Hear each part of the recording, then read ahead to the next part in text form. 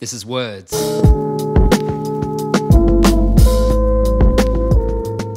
Okay probably doesn't come from the Scottish okai, or the Greek olakala, or the American Indian term oke, or the West African term woke, all of which seem plausible. They all mean okay in their respective languages, but the dominant theory is that okay came out of Boston about 180 years ago, during the so called Boston abbreviation fad, or BAF, where everyone started abbreviating everything, and abbreviations of deliberate misspellings became popular.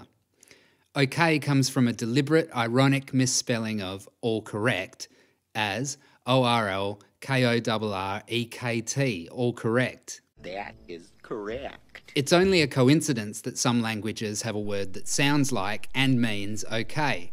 What? It's an example of what linguists call a false relative, a word from a different language where the similarity is only coincidental.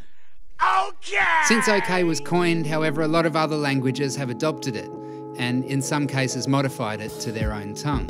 That's okay. Its ubiquity has led some to describe it as the most frequently used word on earth. And if I do, I write a song Thanks for watching. Words. If you liked it, click subscribe. Cheers. Drowned out and stomped to soundless. Maimed even if you claim style to sound bits. Might as well be talking to myself up here. You never